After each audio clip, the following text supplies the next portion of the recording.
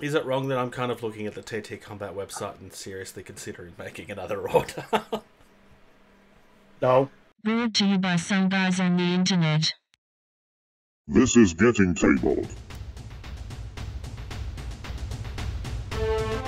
With your hosts Jason the Bruce, You guy! George the Yank, I hope you're all entertained by my inaptitude. Jason aka Major Socks. We've been doing this and talking about various stuff. One of the stuff, Now sit back, relax, and get tabled.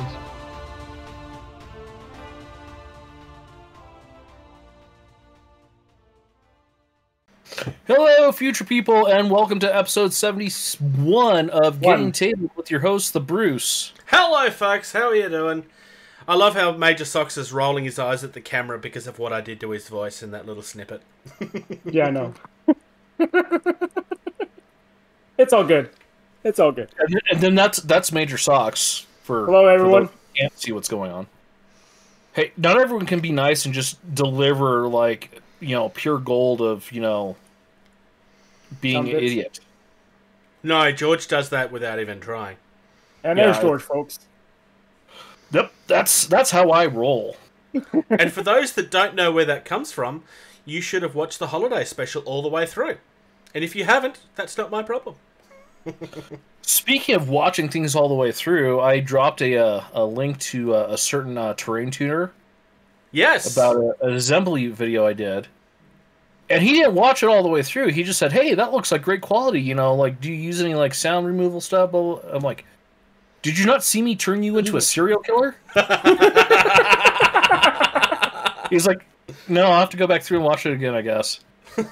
It's funny. Oh dear. Always watch the video in its entirety. He was clearly watching for the. I wonder what the. He was obviously thinking that you were just asking for his opinion on the quality of the filming, That's that's Yeah, fair. As opposed to teasing him, which is what you were really doing. Well, I mean,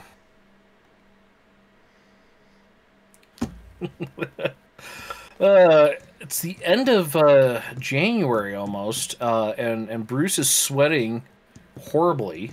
Yes, yeah. The, the, the thing that's blurred behind my neck is a is a cold pack from the fridge, and it's Not a um, goiter. no, it's it's it, it's helping a little bit. Yeah, well, Oh, Bruce those is. old school blue ones from when I was in elementary school that would like give you frostbite. Yeah. Yeah, but it, it's cool enough now that it's not quite doing that. Oh, that's nice. Okay, we'll leave it there. George, I'm pushing this button before it goes any further. Newly received or noteworthy information, especially about recent or important events. all right, getting into the news.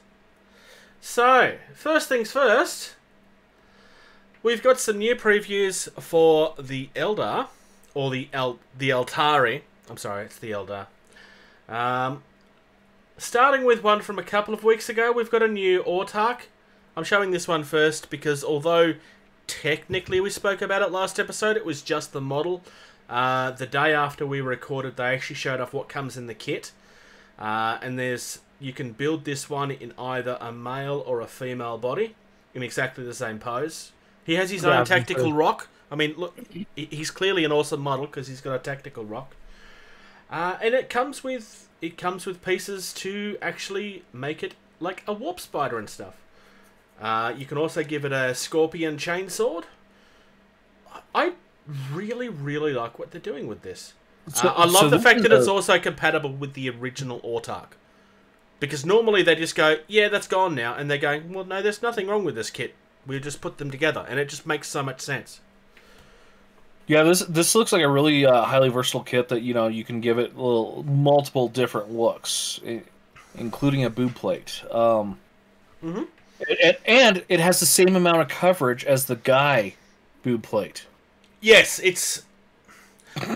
I completely understand why people don't like that aesthetic, and I'm not going to disagree with them, but I feel this is a lot more tasteful than what we would normally see from certain companies. Games Workshop's not really that bad with it, to be fair. Um, there's certainly worse out there. I, I'm just amused at the fact that you know the trope that exists didn't happen in a I don't know what what would you say like 95 98% you know male dominated dominated hobby as far as Warhammer and they didn't do that. I'm I'm mildly shocked. Not mildly though because it's a lot easier just to add, you know, instead of like completely changing the chess piece. You've got to remember that Games Workshop are also actively trying to diversify their audience as well. That's you, you're, you're correct. That is also correct. And I know that there's a percentage of the fan base that really gets annoyed over that, but more people in our hobby is not a bad thing. And if you disagree with that, we're not the ones that's wrong on the subject. I'm sorry. Not everybody has to be into things, but it's good that more people are getting into it. Yeah. Um, Um, next, we've got some uh, Dark Reapers. Yeah, um, these Dark Reapers have been getting some rather amusing memes about them. I actually really like them. Uh, they still feel like the old ones. I mean, they're very clearly based on the old sculpts, but they're just updated, much like the Howling Banshees were. Uh, I do think the Howling Banshees are better models than these are, uh, but I do quite like this. Do, do you know what I'm doing if I if I, if I were to ever get a kit of these? Do you know what I would do? Uh, no, what are you doing? I would get go to a third party bit company and get different heads. That's definitely an option. Uh, and you could also do them without the helmet, I- which honestly, I'd be very tempted to do. I don't like either either look. Like the the only one I even remotely like the look of is the one with the hood. Yes, I agree with you on that. Yeah. But how do you put that hood on with the giant things of metal sticking out the side? But it, it, it just goes through magically. Look, look, you just look at the, the model. They come out like magic, see? Yeah, so third party heads. Um, the rest of the mini looks good. The weapons look great. Yes, I agree.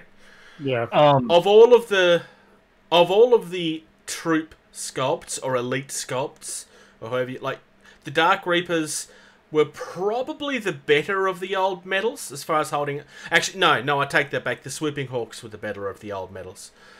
Um the negative I'm going to say here is that this appears to be evidence that we are not going to be getting the um Ah, the leaders of the groups. I can't think what they're called. The Phoenix Lords. Uh, because they haven't shown off the Phoenix Lord for this group like they did with the Howling Banshees. So I'm ho- I'm still Maybe hoping I'm wrong on that. But Yeah, maybe they're waiting for it. Um, no, I, I think they're good looking models. Uh, I'd give them the the Marie Antoinette, you know, treatment and go a different route, and I think they'd look great. um, I assume you've got no opinion, So- Socks, because it's No, no. Yeah. No. Not Alright. a whole lot. Moving on uh, to terrain stuff, and in all honesty, some really nice looking terrain stuff. I quite like this. Um, we've got a new terrain set coming. Uh, it it feels very 40k, and that's either going to be a love or a hate thing. Um, we've got like a communication tower. We've got, I think, the best looking satellite they've ever done. Like that, just it it feels exactly like it is. Uh, they could probably had 50 more skulls on the um, actual dish itself because it's 40k and you're meant to have skulls. Obviously, I'm being a smartass. Um, the It's the only time you're ever smart. well, I can try. I can try to be smart. I want to say that the missile silo. That's I really like that. I'm hoping that there's an option to have that open though, because that would be good. Yeah, yeah. Um, the the thing that if you scroll down through the page is this terrain has actual special rules Yes, that goes along with it. which they which- are doing it more and more. I, I'm. I, I don't I really think have strong opinions one way or the other, but eh. I, I, I, I think there's already too much in the game going on. You know, when you're, you, you know, roll for, you know, this, you know, what kind of terrain does the, you know, stuff like. We don't need, you know, like this piece of terrain that's already doing this to the battlefield also does this. I. Um, it does. I, I'm going to be quiet because if I say what I'm thinking, I'm going to get hate for it. I love the fact that there's a, prop, there's a propaganda rule. I do like that Yeah. because it's just so. I, I think it looks great. I just in today's day and age, with all the other terrain choices and terrain options out there, you got to do something really good. Yeah. And Yeah. Th- Look, this They is really good, and it's probably some of the best terrain for 40k they've done. I can't sit here and say that it's the best in the industry, especially with how cheap the MDF terrain is. And and honestly, I mean, this is hard plastic, and it still looks like it's an MDF terrain kit. Like seriously, it looks like it's an MDF terrain kit. But the only know that things it's you couldn't fake with the MDF are the little yellow canisters on the metal missile silo, and the top part of the uh, antenna that's actually like round. Yeah, true. Yeah. I mean, b- beyond that, yeah, you could totally like import this and like laser cut it out of MDF, and Actually, truth be be a pretty told. The bottom of that antenna is round as well. It's an oval by the look of it. I don't think that's a flat surface. I think that's round. Oh no, no, it is a flat surface. I stand corrected. I'm wrong. Duh. Like I said, Yeah, I, I, um, re- I really like this. Um, look, it's Games Workshop. Obviously, it's going to sell. Um, I think it belongs somewhere in the middle as far as quality is concerned overall when you consider the industry. But for Games Workshop, I think this is probably some of the best general terrain they've done. Um, I do think that they need to stop giving their terrain rules, though. I do like the specific piece of terrain for your army idea, but I think giving everything a rule is just. Yeah, yeah, no, like the, I have the- nothing the- positive to say about much. that. the, the Fyreslayer pizza oven. You know, I yeah, I totally want one of those. Yeah, look, that's fun because it adds something to it. But when you're giving rules for everything, all you're doing is making a game that, to be honest, isn't that easy to play for a new player. All you're doing is making it harder for new people to get in, and that's not a good Yeah. thing. The, the the only reason 40k is as big as it is, is because it's easy to get people into it. And if you're making it harder, all you're doing is dividing an already Pushing divided your audience, yeah. audience. Yeah. Um. Next is is Warhammer related. Yes, we're talking about a video game. A video But game. this this is old world, so everybody's going to love it. Look, I thought this was relevant because Yeah, no, for Look, sure. Total War Warhammer is, uh, well, it's the most popular of the Total War series, and it is a very popular series, uh, and arguably probably the best video game to come out of the franchise at this point. Um, I'm not going to argue that. Um, I've seen some of the other ones. Um, I've never played it. Uh, I had some friends that played the um, oh, like the first person shooter 40k one. Yeah, I the one with the t- Um, where you're playing as okay, a that- well, it's it's like um, it's like a, a battlefield um, or company heroes or you know the list goes on and on of those co-op first person shooters, and it looked like that, but with you know 40k, you know Oh, okay. Marines. I was like, that's kind of cool. This, I think, this is way better, and this is really cool too. But I do, I'm going to complain a little bit at the end after we talk about it. Okay. Well, basically, in Total Warhammer 3, you have the ability, as part of the Chaos faction, to build your own Daemon Prince. So there's different versions of the Daemon Prince you can build. Um, obviously, they're not going to be showing everything here. You can definitely see that this is based on some older stuff. Um, specifically, this is where my history on the old world is going to fail me a little bit, and I'm going on the opinion of my housemate. It's based on stuff from around fourth and fifth edition, apparently, um, where they first started doing this and fleshing it out. So I, I do kind of like what they're doing. I mean, I, I doubt that it will have any actual impact on the game itself, but I do like what they're doing. Um, it is also worth noting that although I say this is probably the best video game that they've made from the franchise at this point, I don't play this. Uh, this is one of those games. I, I own this game, and I've tried to play it, and I just can't get into it because it's just. It's very different. There's a from the lot sort going of on. well, there's, it's There- very different from the sort of stuff that I'm pl- that I normally play, so it, it, Yeah. it struggles a bit with me.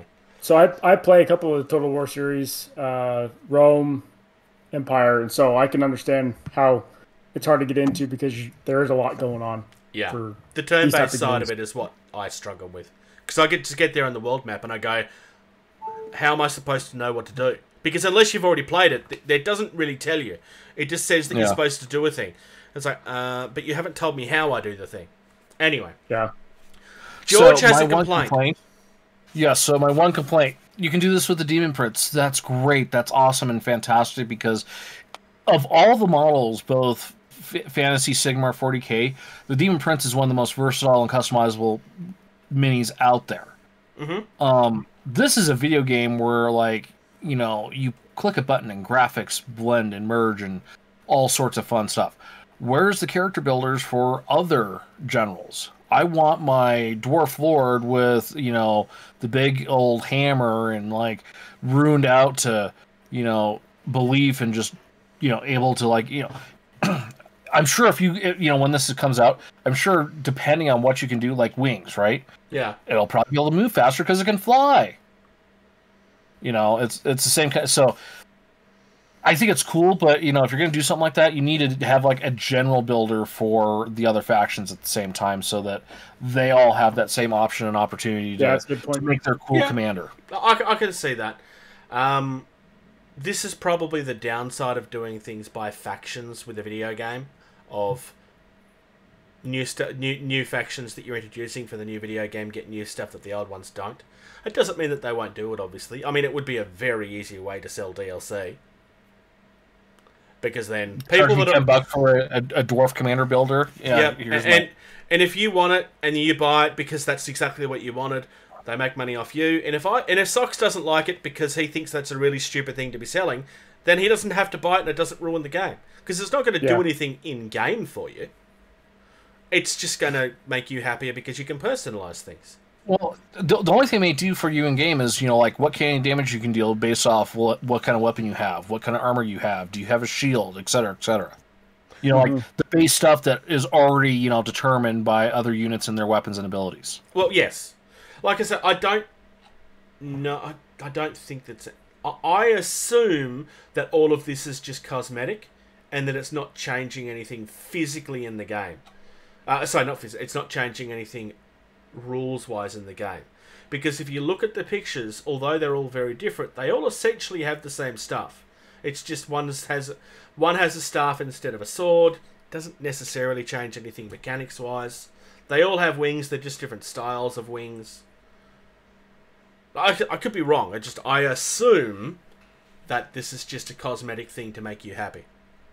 Because the Daemon Prince has always been something very customizable. So if we're going to give Well- a Daemon Prince, we should make it customizable.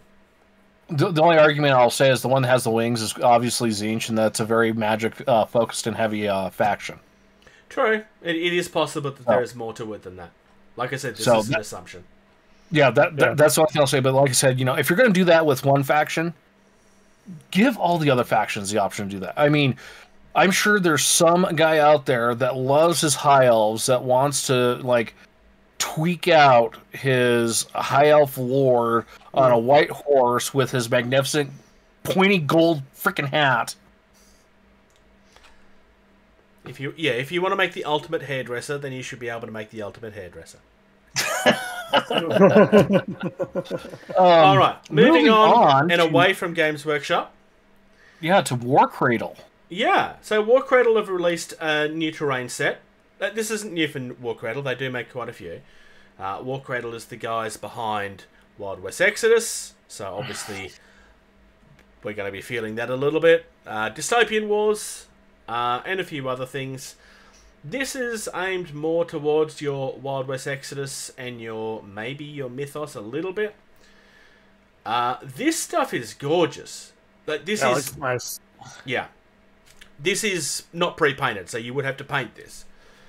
But buildings, these are really nice looking buildings. Much like the stuff that TT Combat did in their white boxes that are now being sold as individual kits. Um, So you could, I here's could my see this in modern day. Yeah, the the warehouse. Um, Yep. I'm looking at the hundred pound set. Yes, yeah, that's what I've got open as well. The the first warehouse one. That doesn't quite feel very Wild Westy to me. That looks very modern Wild West. Yeah. Yeah, I could see that. Yeah, I, well, Yeah. I literally did just say that. The bricks, So- the bricks is what throws it. Throws it, I assume. Yeah, I mean, brickwork was too. not a Wasn't was very not a big back big thing. Um, the the cool thing, and and I like this because then you don't have to, you know, you don't have to go to a hobby store specifically for Correct. it and pay outrageously obscene amounts for it because it's just like any other part of the hobby. You can get train stuff. Oh yeah, yeah. No, now, and it's if you were really nice to like train an actual, yeah, if you were to go like to an actual like train hobby store to pick up um that 24 pound kit that's got like two of each thing in the little building and the fences, right? That's like 30 bucks. To pick up that much track from one of those stores that cost you like 100 pounds probably. Yeah, Um, it looks good. It looks a little too too modern for for Or a true Wild Wild West. West. with me. Yeah, they named it. it- no, they made great. it an industrial district, so it, it feels. I, I, I still match it with those things because that's just where my head goes. Uh, you, you know, Because you have to remember, has to Wa- feel Wild like- West is alternate Wild West as well. It's not actually historic. I'm sorry, um, Yeah. Wild West Exodus is not historic. Yeah, yeah. So that does help Yeah. them a little Yeah. bit. Well, Uh, no, when you- said uh, it- when you re- re- resaid uh, industrial and stuff like that, all it just screamed to me like um like 1890s, 1910s, like Yeah. a Chicago city. oh, that yeah, that'd be a very good setting for it. Yeah. So yeah, I, it looks good. I, I'm still going to use uh, if I ever um the the the TT If. combat stuff. If I'm I'm not going to gesture at you the way I want to gesture at you right now, Bruce. I, I'm not saying that you need to buy it. I'm just saying it's okay to be tempted by it. All right, moving on away from terrain stuff. We have something a little weird that we spoke about off camera for a good three or four hours earlier in the week. Uh, Yep. While we You Socks two was well, yes, Socks pointed this out initially. Uh, Yep. so, so So I'm just going to read it as uh, on its surface for the moment. Actually, no, socks. You talk about it on just the basic surface, and then I'll go into what I noticed later. Yep. So I found this story through my some of the Facebook groups that I'm part of. I, I play Wings of Glory, Sails of Glory, and the manufacturer, the, uh, the developer of those games, Ares, uh, based out of Italy, put out an article saying they are changing their production of those two games because they couldn't have the production um, regimen that they were wanting with those two lines. Yeah, They they'd been struggling getting their stuff out for quite a while. It, it had been a complaint a from while. their distribution distribution as well. Yep. So COVID was, as we know, COVID's been a major factor with a lot of the production. And so finally, last month, they decided to switch companies altogether.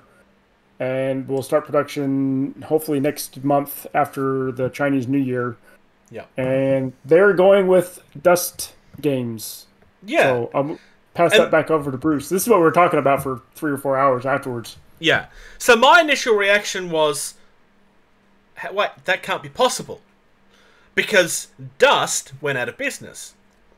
Now, I'm sure that people that have been following Dust for a while are already screaming at the camera, going, Yes, but hang on, let me get there. Because Dust Studios went out of business, and this is a story that we covered very briefly on the podcast. Um, our Patreon members got to hear a little bit more on the subject. Uh, but Dust Games and Dust Studios are two separate businesses technically owned by the same person. So, this wasn't entirely clear because when Dust Studios went out of business, obviously it was only talking about Dust Studios, but I think a lot of people have just assumed that it meant everything. Because Yeah. you tend to forget how businesses are laid out. So, Dust Games was the production side of the business. Dust Studio was the game side of the business. The game side of the business no longer exists, but this is evidence that the production is going to be continuing, which is good for fans of Paolo Parente, he's not completely out of business. Uh, He actually still has something going on, uh, and and you know what? This is it's good to see. It's it's never good to see somebody go out of business. Um, I'm looking forward to it because back when I went to Gen Con back in the Hot LZ days, uh, back in 2017, I actually helped Ares demo some of their games, and they were talking about down at the end of the article. It talks about the Drachens, the big World War One balloons that you would see flying around, and at the bottom of the article it says that they're coming up, hopefully by the end of the year. And they were talking about those models back in 2017. Well, they're- they're finally getting around to them, so I'm I'm looking forward to, to seeing what they come about. yeah, um, this has been something that's been back up. Desperately needed for that company for quite a while. And I'm not having a go at Ares. I just know that this has been a problem for a while. Uh, Well, this is a game that was uh, demoed very heavily at PAX during the last year that it was active. Uh, House of War was working directly with the distributor for this, and they were showing this game exclusively. Uh, I almost brought in about three or four times during that weekend and didn't end up doing it. It's a great Um, game. I have heard nothing but positive things. It look, it's not a range aesthetically because it, it's not a period of history that I'm really that interested in. But the game itself looks insanely fun. Don't get me wrong. This looks awesome. Um, and it's and like this has been around for a while. I mean, people are going to look at this and go, "Isn't this just X-wing but with different vehicles?" And it's like, well, I can see where you're coming from, but at the same time, pretty sure this is a little older than that. I could be wrong. This was the precursor to X-wing. It was actually um, Wings of War was the original edition, and then Ares got it and turned it into Wings of Glory, and then X-wing came out probably two or three years after Wings of Glory actually was out. now, So before we move on, I'm going to touch on the reason why I never actually ended up buying in. There is a third party model that you can buy that has unofficial rules that is Snoopy flying around on his kennel. And that's the model that I wanted, and I couldn't buy it, and then I was like, ah, well, I'm not interested then. It's a doghouse, Bruce. No, no, it's his, it's his airplane. We've all seen him You fight said- on the you airplane. you called Yeah, it a kennel that's a though. doghouse, not a kennel. A kennel is usually a chain link uh, fence uh, pen for a dog. Uh, okay, that's not how we look at it over here. That's fine. A dog kennel is just where the dog lives. You lives. guys are wrong. Look what side of the road you drive on. I mean, of course you're going to get doghouse wrong. You guys too. are all up as it is, anyways. Yes, yeah, w- w- we're the ones that get it wrong, Miss. I'm gonna change all of the spelling of my words because Okay, I have Bruce, with my Bruce. parents. Bruce, what what plane was Snoopy flying though? Oh, that's a good question. Socks. What kind of plane is Snoopy flying? Fokker DR1. A Sopwith Camel. Oh yeah, he was. He was always fighting against the Fokker DR1. That's right. That's why I remember that Fokker. He's always DR1. You're he's right. always fighting against the Red Baron. I know that. Yep. That's Yep. the f- and that. All right. Uh, wi- Sails of Glory is not something I've had a lot of ex- lot, lot of exposure to. I, I have heard of it. I've just not had, had exposure to it. I, I play it, but when Warlord released their Victory or Black Seas game, which is their Sails of Glory version, Yeah. I've kind of moved away from Sails of Glory and, and kind of moved over to Black Seas because I like the mechanics of that one a little bit better. But I still have my, my Sails of Glory stuff. And of course, I Still fun have game. Armada, which is from memory, a spin-off from Black Sails. Yes, I think. it is. Uh, moving on. This is a news article that I partially shared because because George loves this game. Um, you, you use that word. Um, but go ahead. Partially or love? Which word? The, the, the love. Oh, I thought you So. I thought you did love this game. I, I like this game. Oh, okay, um, fine. There are some serious issues with the rules Oh, okay. with this game. Uh, last I played it, anyways. Well, we're getting a new expansion called the Skullbreaker Champion expansion. Like this is this is just edge lord all over it, to the point where he has a giant axe made out of something's jaw. Like that's obviously a, that's not an axe. It's a sword made out of. I'm going to assume it's a dragon's jaw because it really feels like a dragon's jaw. Uh, it looks really cool. That's a Um, really big really big dragon because based off the lore of the game, his little minions that are with him are normal size people. Yeah. And then he's that much bigger, and then that's a dragon's jaw. But dragons should be that big. They are monstrous giant things. Not always. Not Mm, that true. big. Always. Khaleesi's were like little cat sized things for a while. Well, that's true, but they were babies. And they ended up being huge in the end. Like, I would argue that they probably would have been about that size in the end. That's why they spent all of their money on the CGI and not on the script. Script? What script? They got it from George R. R. Martin. Oh wait. Only after about. When did they stop following? I don't remember. So yeah, I honestly looks wise. I mean, as much as I call it edge lord stuff, which it is. I mean, I, I actually do love the look of this. This is a game that I've kind of looked from the sidelines when you got into it because I was kind of like, I really do love the look of these models. Um, I think it would be fun for you and I to try and play a game of this over camera at some point, maybe. Sure. Um, Yeah. Um. So so here, I don't love this game. The couple times I've played it, um, I did find a couple of issues with the rules. I don't know if that's been changed. I haven't looked in quite a while. Um, the the positive I will say about this game is it, it's not your standard board game. It's it's a it's a I guess a merging of a board game and a normal mini game. so kind of, kind of, yeah, okay, yep. So like this is an expansion kit. So you can get this and like two other expansion kits and you don't even have to use what comes in the starter boxes and that's your army. Yeah. So I kind of like that in the fact of you can customize what army you want for this board game without having to buy crap loads amount of stuff. Yeah. So, um, it's really cool. So it, it it's uh it's a uh Steamforged Games. Their stuff they just they have good stuff too. Yeah. Yeah. I mean, But there's, uh, a, there's a reason that Guild Ball was popular. yeah, yeah. I was I was about to say uh, you gotta stop doing that, Bruce. Eh. um, Hot LZ, uh, uh, uh, uh, Levi, you know, he got into it when he moved to uh, Tennessee. Yeah.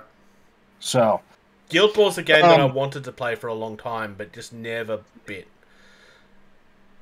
So worst the worst thing I can tell you, Bruce, is like you can buy the core starter box. That's enough to play a game, and if you like it, then you can buy more. And if not, you've just got another game to sit on the shelf. Yes, because that's what I need is more of them. Well, no, how, how much is this? I forgot. It's been so long since I've Uh, fifty the- bucks. Oh yeah, no, the the base it's very very affordable. Yeah, fifty bucks. And then if you want to, you know, like round out, because you play with a total of three of the expansion kit size, size things, right? You play with a total of three of those. So fifty bucks plus two more of those, that's another sixty. So one hundred and ten, you're all in, and you have like, well, no, if you just use your entire box and then you know, you're in seventy bucks, and then you need to go find someone else that has their own stuff. Pretty much, yeah, So, um, I think that's pretty affordable. yeah. Um, like, but like I said, I found issues with the rules. Um, but yeah, I, I still think it's a great game. Very few games out there are perfect. Um, I, I don't really have a problem with the fact that you found issues. Um, I'd it- be kind it's of a surprised pretty- if you didn't. It's a pretty glaring issue. Like so, like th- there's like five rounds, and every in the first round you score, you can score like one point. The second round you score two points. The third round you score three points. The fourth round you score two points. The th- fifth round you score one point. You score five points total and you win.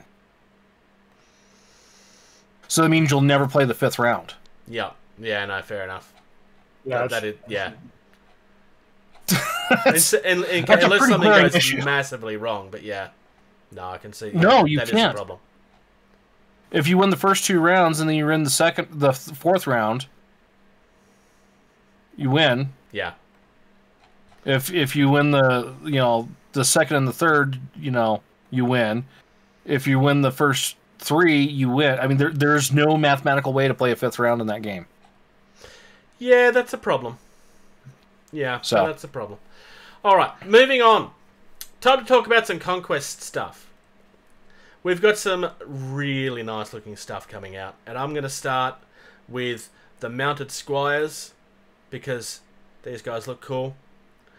Got some alternate heads there. Some of them are scarred from battle because you know the squires are not that good at fighting. They're still learning. Uh, the scar was probably created by the knight that they're working for. Let's be honest, they get treated like crap. Um, probably even more so than than he's uh, than um, fantasy would like to believe. Um, I really like the look of these, honestly. So you get three in the set. It's just under 50 bucks. These are larger miniatures, you've got to remember. Um, I like the fact that they feel like they fit with the knights, but they don't feel over.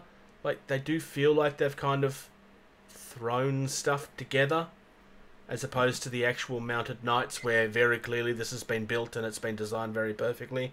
This is very clearly hand me downs. Like, his armor's all dented and rusted and clearly not good enough for the actual knight itself. It's just what's been left over. I like this. Also, the Can, can I jobs are stop and comment on just on how awesome the horses actually look too? I Yeah, agree. right. Look, If, if you click on the little video and like you know watch it do a little 360 thing, that horse mo- model looks really good. I don't see a video. It's like the one, two, three, four, fi- fifth image over.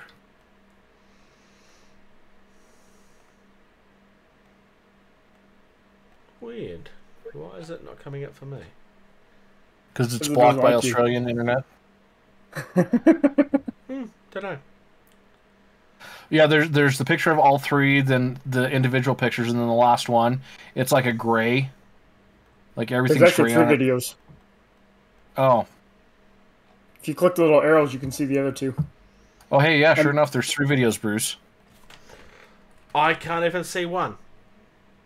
Weird. Well, there's videos on the thing that you can see as well that I can't for some reason. Otherwise, I would show Trying it to to the hold camera. your internet. Ooh, I didn't say that. Uh, okay. Moving on to a word that I don't know how to say. So for the Dweghom, we've got the the Mnemnancer. it's M N. E. Mnemancer. Um, Manam- the ma- so it's the Mnemancer's apprentice. Apprentice is easy. Um, again, really love this. So for those that are not aware, the Dweghom are the dwarves. Sorry. Menmancer? Menmancer? Yeah, that could work. Yeah. Yeah, Men Mans. Yeah, I like that. Let's let's go with that. G- g- can I throw in a little complaint? If you're going to design a game and everything, don't make everything entirely hard to pronounce. yeah. I already have enough t- problems speaking, you know, my, my, my primary language. It does give the world of uh, a, a feeling of being its own thing, but um, yeah, no, I No, can no, see where you're coming from with that comment. Very much so. Um, so the Dweghom are the dwarves that are. It's like this is very much their own version of dwarves. These aren't even cold at all. Um, as opposed to you know being the same dwarves that everybody else has. So I, I like the fact that they're their own thing, kind of like how like the orcs in this game are very unique as well. So the orcs are like they still give that like that tribal feel and so forth, but they're very very I love the fact that he's actually carving a stone pillar. And if you look, there are many mistakes on the stone pillar. Yep. Well, and the fact that he's it's kind of almost looks like it's falling over as he's carving it, and he's holding it up with his foot. Yep. So yeah, I really like this guy. Um, we've got a neophyte as well, which is back in the Hundred Kingdoms. I, I th- this guy's kind of, he looks simple, but I'm actually saying this in a good way. I mean, you don't want him to be flashy when he's very clearly a priest of some kind. I like this mini quite a lot. Uh, I hate the fact that I would have to do that text because obviously I would have to do that text. I I know that it's very easy to do, but I've always struggled doing text on things. I don't know about you guys. I know that it's only supposed to be dots and dashes, but it just never seems to work for me. But Looks more like Morse code. pretty much. Uh, but no, I just I don't have a steady hand, and it never seems to like. it- So- it just looks so like I've what you scribbled on do- things. What you do is you get yourself some printable uh, transfer paper, True, that's a good point. print out your own little deal thing, and then you uh, transfer it on. That's a good point. I, I, I like that idea. Cheat, cheat is always the answer.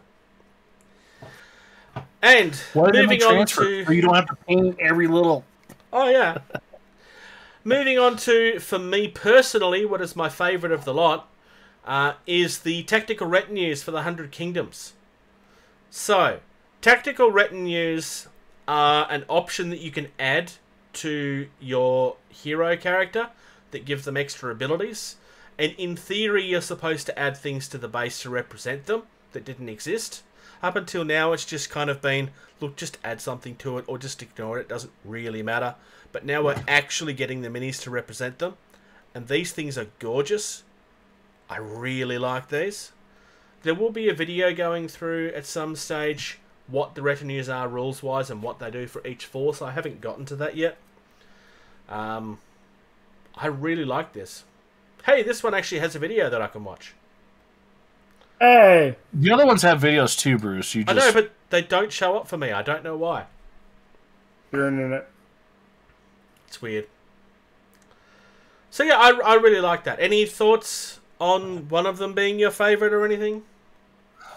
I like the guy ha- holding the banner right here in this written package. Mm-hmm.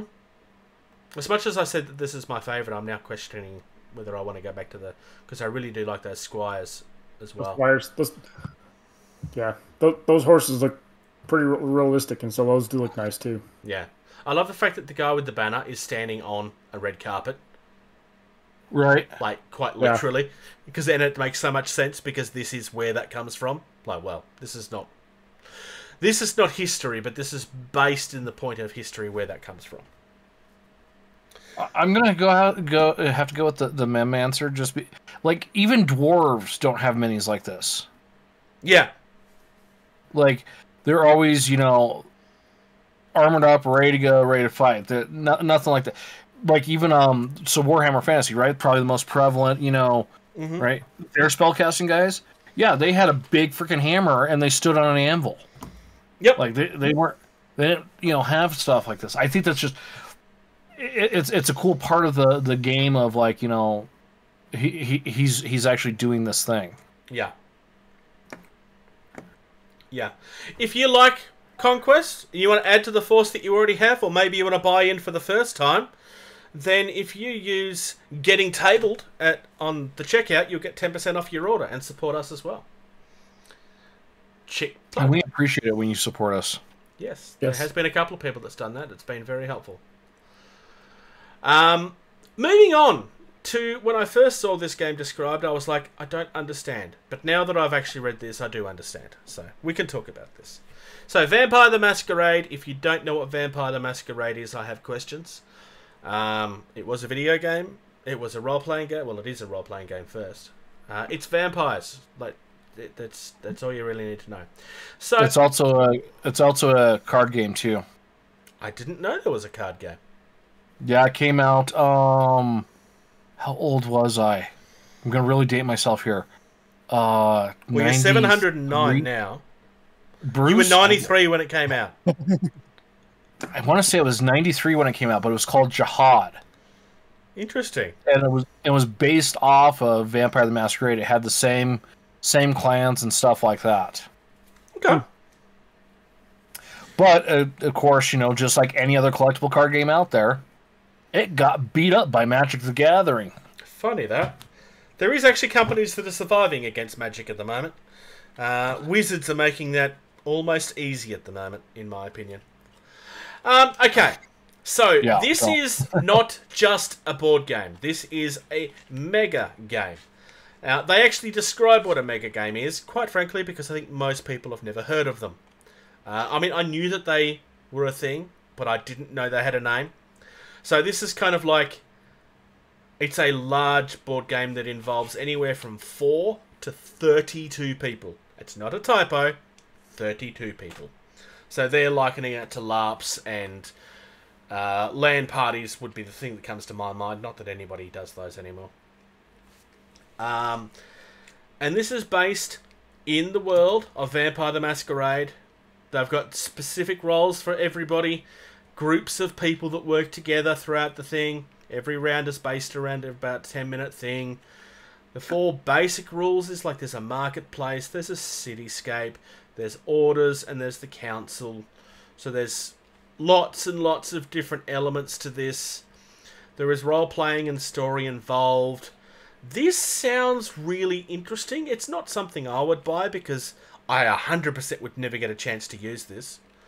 Um, because I don't run conventions. I mean, you would need to be at a convention for this to work.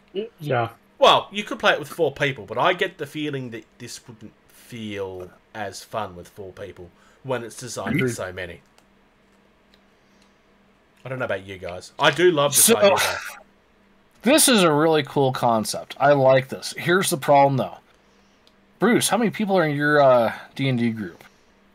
Four. How hard is it to get all four of you in the same room at the same time for four hours? Well, yeah, yeah. Okay, let's do that for that's four 32 schedules. right? Okay, so we'll just do do that for forty people. Yeah. That's why I'm saying this is the sort of thing that you're going to be pulling out at a convention. At a con- yeah, you're right. If you Don't- want to do the or format, don't see it working otherwise. Or check this out, right? You are either Jeff Bezos or Elon Musk, and you hire forty people and pay them a living salary, and then that's all you do is you show up to their house and you play this game eight hours a day for a year with them. That I suspect that this would be designed to kind of work as a once-off type thing. I don't know. Um, because normally, like vampire, no, um, ultimate werewolf and stuff, which which is one of the things that comes to mind with what they're trying to do here. Although you don't physically have things in that normally. Um, but this, um, it- it's kind of the same game every time. It's just different people getting different roles. Yeah. Yeah. I would imagine that that's how this would play. I don't know. It's got like this is just very simple at this stage. I do want to say, I love this background. It's really cool. Um, Well, yeah. Interesting to Four see four how this goes. Players. Yeah. I, I, I this don't is know if there's the downside of I this is like. it's well look this is going to be something that's going to be for a very niche audience Yeah. uh, like you're Well, not no, go- for you're sure. not you're not selling millions of copies of this but i do think this will do very well um, but the problem with designing a mega game is either people are going to buy this without thinking about it and then realize that they don't really get a chance to play with that many people or it's people that are running conventions or want to host this at conventions. Um, because normally with uh, it does actually touch on this. Like normally when you run things at conventions and stuff like this, there's usually like like a ticket entry type thing. Yeah, So I was, I was it's just about to say, you know, It's business. you know, your that are gonna FL yeah, your local gaming store picks up a copy of this and then sells like you know, we'll call it a thirty dollar ticket. Pizza's provided, and you show up and you play this game with thirty some people, Yeah. and then that covers pizza and beverages. It covers the the the the manpower for the the employee to be there, and you know, it, it'd be no different than like you know a movie theater showing. You know, Yeah, pretty much. It's just it's interactive. Like I said, I, I found this very interesting. I thought it was worth looking at. Um, but let's have a look to see what our friends at TT Combat are up to. some new drop zone stuff. use Yep. TT Combat. Uh, TT know, some- Combat um, are that company that hire a CGI person just to create a fictional character called Lewis. Yeah, okay. Wait, is that Lewis or Lewis? Uh, Or Lewis Louis. or Louis. You ruined my Bru- joke, Bruce. No, I know. It's St. Louis, Missouri.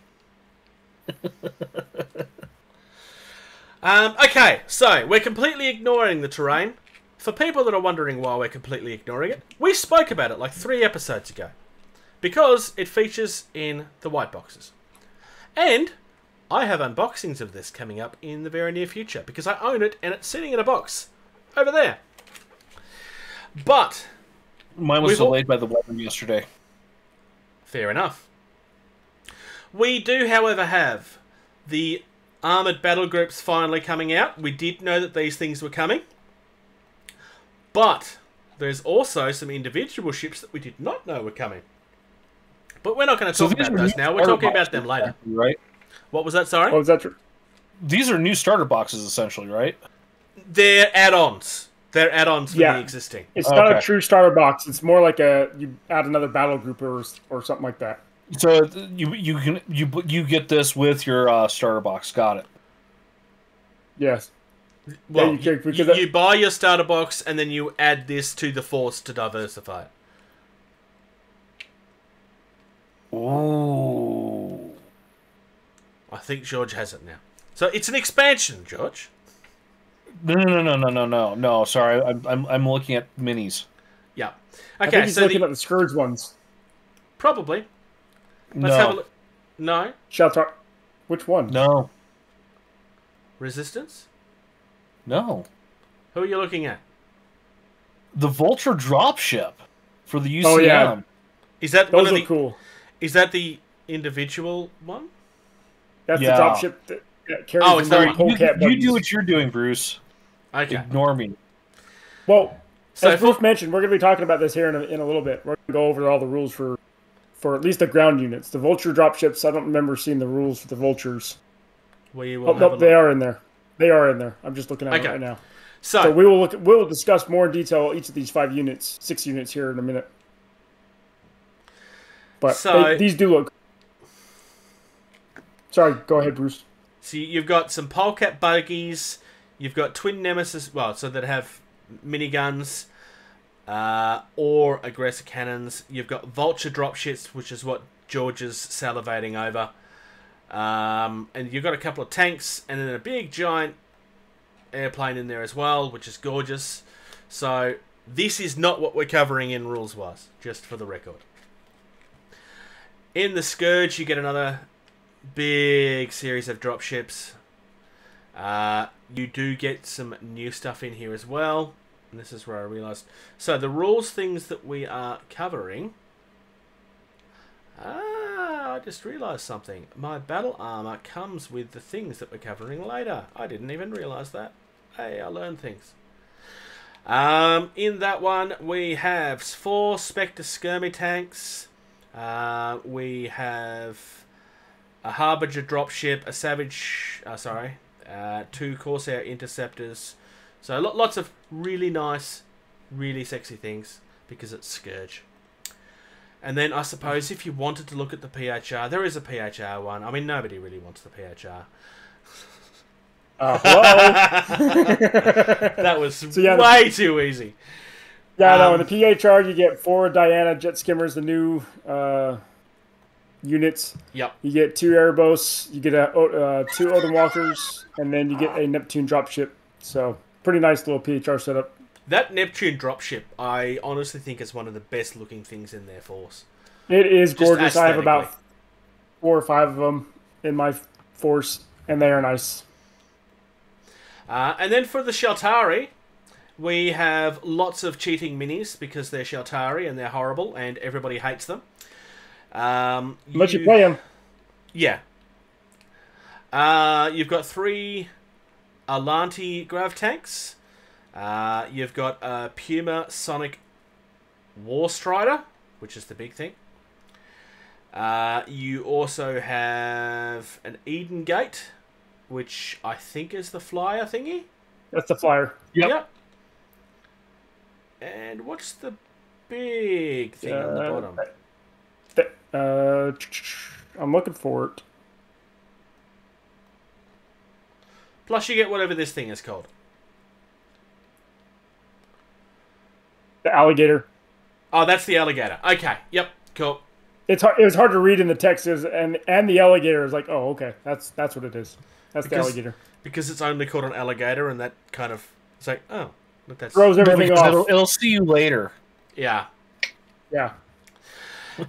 And then of course we have the Resisti, and I'm saying Resisti just to make George happy. The Resisty. Yeah. So this also has some new stuff. These two small vehicles down the bottom are among the stuff that we're going to be covering later.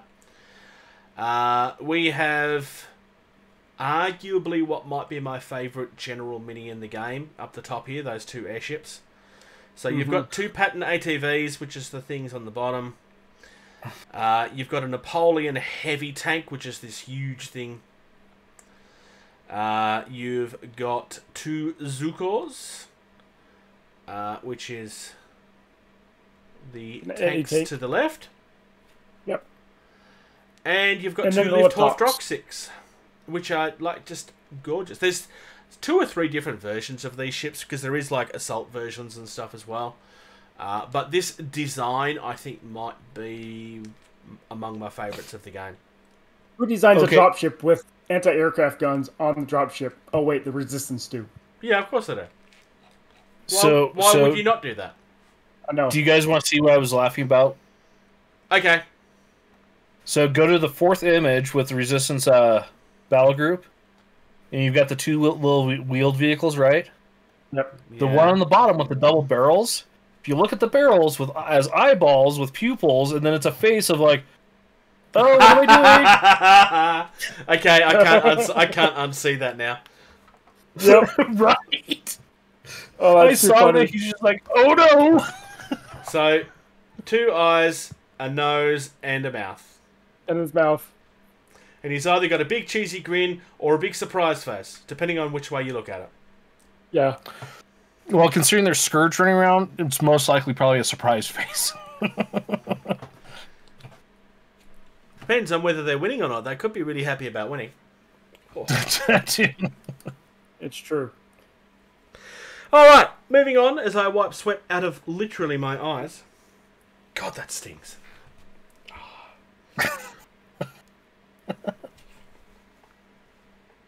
Sorry, folks. I'm um not allowed to turn my fan on to try and keep myself cool. All right, we also have a work in progress tease. So we did kind of see a tease of these in the advent calendar a little while ago, but we've got actual completed things going on now. And these are some new cutters that are coming for the PHR and Dropship, sorry, Drop Fleet Commander. Um, I really like these. Like really, like those, I uh, really like these. I, I I play Shaltari. I'm a fan of the Shaltari aesthetic. That Shaltari ship The one that's going, looks. the one that's going on an adventure. Oh my on adventure. goodness, that thing looks gorgeous. Yeah, it does. Uh, Yeah. they're- Look, I always love what they're up to, but the, yeah, these things are absolutely stunning.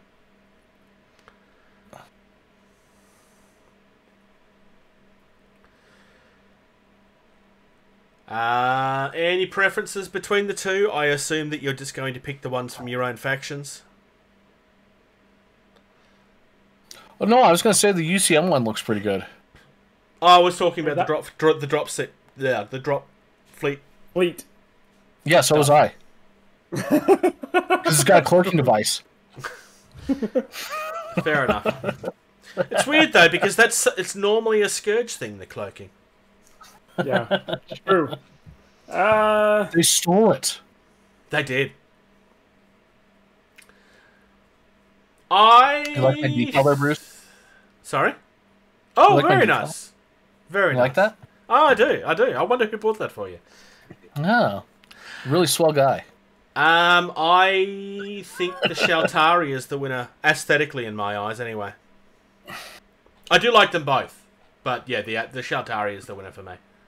I, I like them both, and as a PHR player, yeah, I'm gonna. I I kind of like the Shaltari one a little bit better, actually. Oh, I, I honestly thought you were going to go the other way.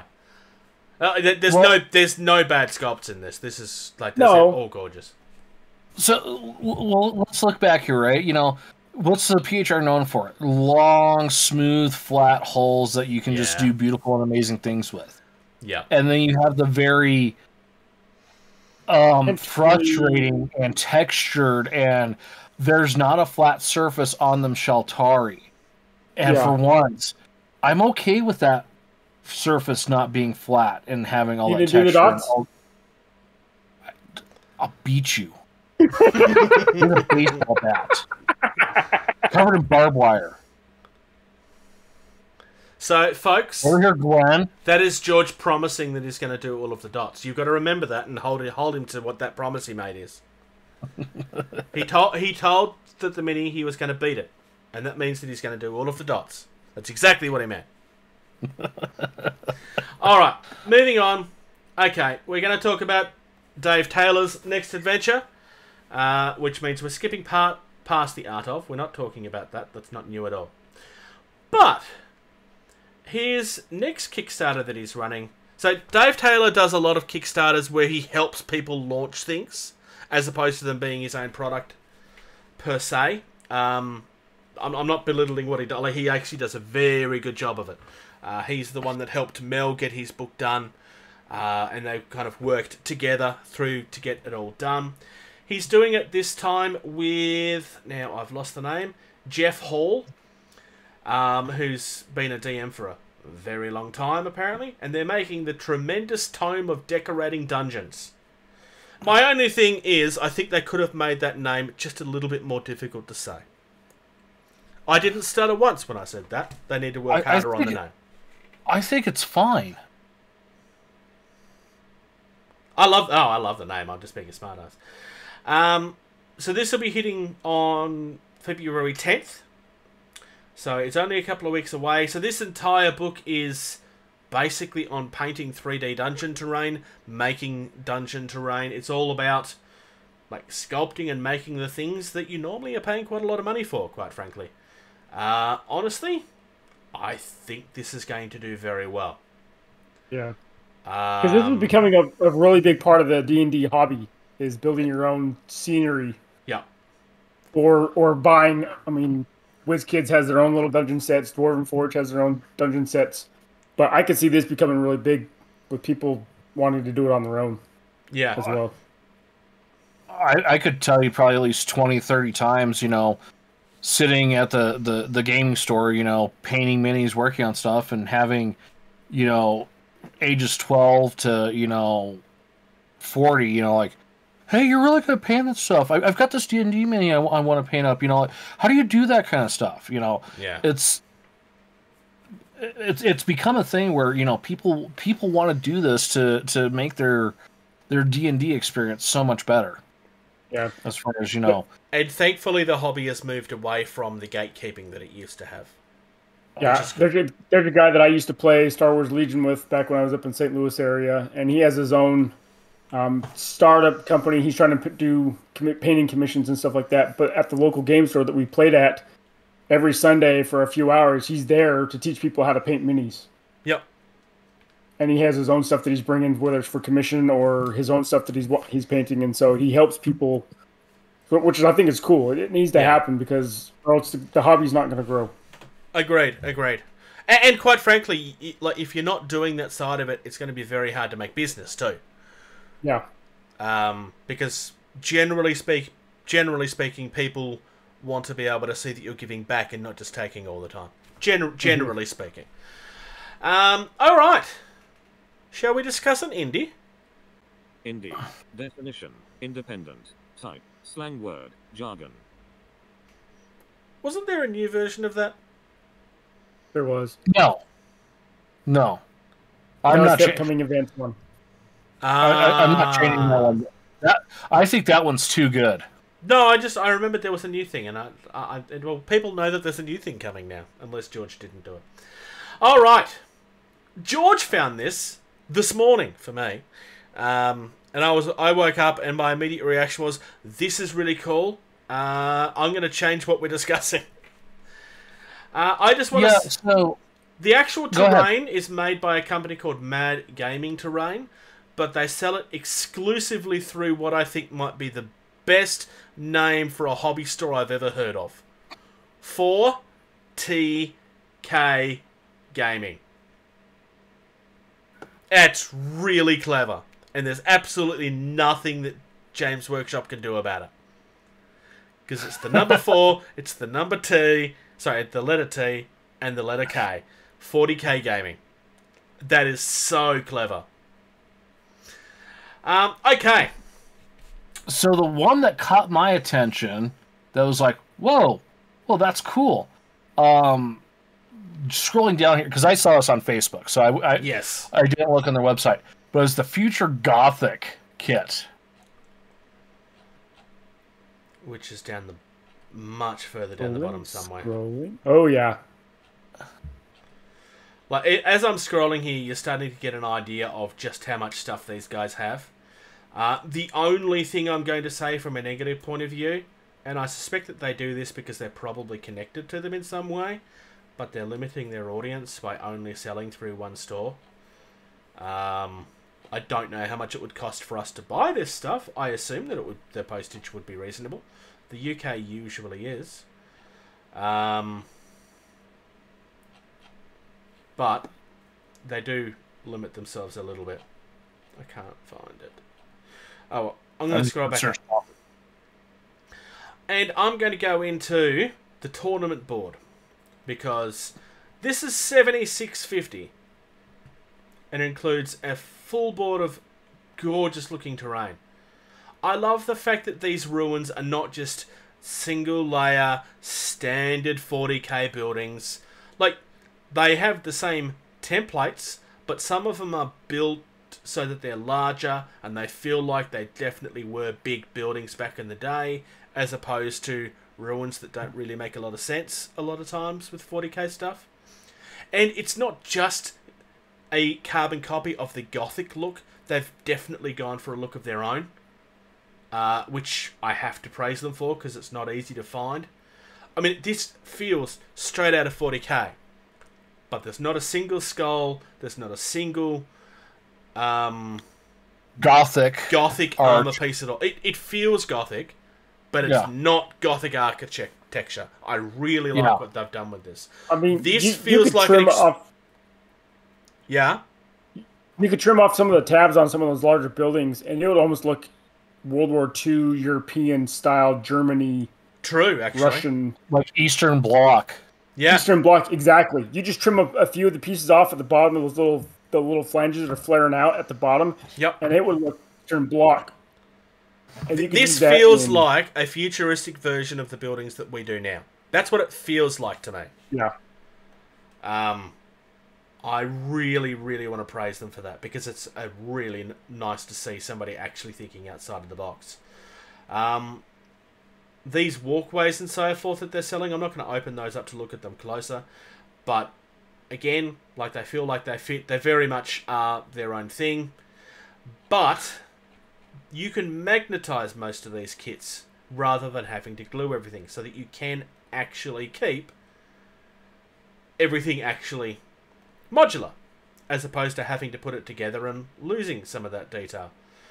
Uh, I love the stairways, simple but very effective, and I like the fact that it's not just a straight or it's not just an angled one. You can buy one or the other or both, because most terrain companies tend to either just design something that's a straight staircase or they only do one that's the other way. These guys are doing both and just leaving it there for you to make your own choices which makes it feel more real world to me because most cities don't only have one sort of staircase. I really like what these guys have done. This is very, very gorgeous. Uh, they also do a lot of terrain that fits in with Infinity. Like as much as I'm talking about 40k, because clearly that's what the audience is.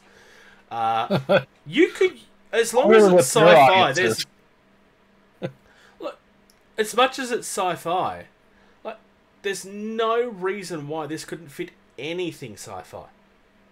It just Oh yeah, no. just feels like it Yeah. works. Uh, I'm going to quickly go to their upgrade kits, and these are upgrade kits for their existing things. A lot of these are for the hab blocks. So there's one up the top here that is an upgrade for their gothic stuff, which is what we were obviously just looking at, which adds a few design elements to their existing buildings. They've got ones for the hab blocks so that you can stack buildings on top of each other and actually create the colony type things where everything is on top of each other. Uh, there's other ones where you kind of thicken out the building and make them more bigger, I suppose. Uh, there's an upgrade to the bunkers that beef up the armor and everything. There's some really nice, well thought out stuff here. I really like what they've done. Know, like I said, the, the thing that I saw when I was scrolling through Facebook was was the Gothic buildings, and I was like, for MDF, that looks amazing. Yeah.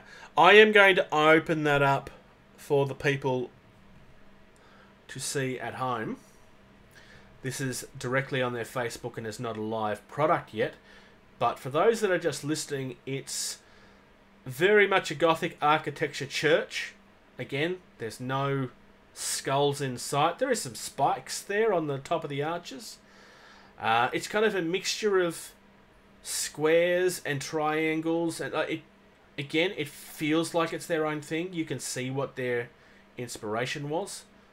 Uh, the windows, like the top of the actual arched windows, have cogs in them, which kind of feels like it belongs. Uh, and it's huge. Like this is a huge building. I love that. Like that. That's a centerpiece of a table right there. I really love what they're doing. Um, shall we move on? Yes. What what are we moving on to? Oh yeah. Hobby. Cream, blue, crime, pain.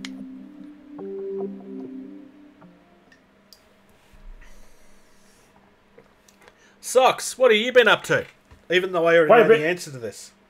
Quite a bit actually, because I already showed Bruce this. But uh, the last few days, uh, I've been painting up some uh, Star Wars Legion stuff because I'm part of a Star Wars skirmish league at my local game store where we play about 500 points worth of stuff. But last couple of days was painting up some BT battle droids. Probably one of the easiest units that I have ever painted because I just pretty much base coated those with Leadbelcher and then did some Nuln Oil highlights and whatnot, and just a few things elsewhere. But other than that, that was So you painted Yeah. Necrons yeah, pretty much. because that's how you paint Necrons: Leadbelcher and Nuln Oil, and then highlights. Yeah, and then a dwarf spider that you see in episode two of the Battle of Geonosis. And then that big guy, the Persuader That- tank. that's definitely my favorite. I love that thing. so Well, They'll it's, have- it's really easy to love that one, especially when you uh, you know show off the the little spider tank thing before it because I like the spider tank thing. oh my god. I, I- I'm not going to sit here and and badmouth Star Wars because Star Wars is great, but some of the things that have, you know, and I'm not even going to say a specific, you know, character. I'm just the Gungans in general. Some of the droids that they chose, like, why? I mean, okay, sure, it fits for the story and everything, but yeah, why? I I, th- I don't think that there'd be many, many people that would argue with you that the vehicles in the original movies were more interesting than the vehicles in the prequels. Um, part of the problem there is that you're have you're restricted by having to make sense with how they evolve. But in saying that, I like the Gungans. As a race, Yeah. the Gung the Gungans are. I love the Gungans. I Yeah. completely understand the issues with the Gungans. Uh, but as a race, I love the way that they were fleshed out. Their only problem is that Jar Jar was used too much, and therefore he sours people's taste. That's my feeling. It's, yeah, I was I was trying to avoid saying you know Jar Jar. Like, well, it's pretty obvious who you were talking about. Actually, um, l- l- little uh, uh, uh, on topic uh, side note. So, who's watched uh, story of or the Book of Boba Fett? Nope, Nope. nope. Socks. I need to. I need to, but I haven't Okay. seen it. We couldn't find our Apple TV maybe I won't talk about it because spoilers. Yeah, Sorry. I, I'm, I will be planning on starting on here. But the, the nice thing about the droid, the George Schweidenberg, going back to what George doesn't like, is I can interchange his weapons. So I designed it and built him so I can interchange his various weapons because he comes with three different weapons. So I can Oh, nice. Nice. You know, and interchange that. on the on the one hand though, with the simplicity design of that of that you know droid, it makes it to you know to do something like that extremely easy. Yeah. No, like oh, I have to like heavily modify this in order to swap the gun between the the, the two guns. Oh, that's that's terrible. There's actually three of them. So I could. I have three different options depending on what I build on my list. So Well, no, I was talking about like say you know like my Redemptor Dreadnought for my Space Wolves. yeah, like the Flamer or the Bolter. I'd have to seriously modify the arm in order to go f- swap the weapons. either one. So I didn't. Yeah. What have you been up to, George? Um, I He built says some more suddenly, suddenly putting things behind him. I, uh, I I built some more terrain um, from the Nihilus uh, complex set that I started, um, and then finished uh, building a couple pieces. I will wheel back here and get one.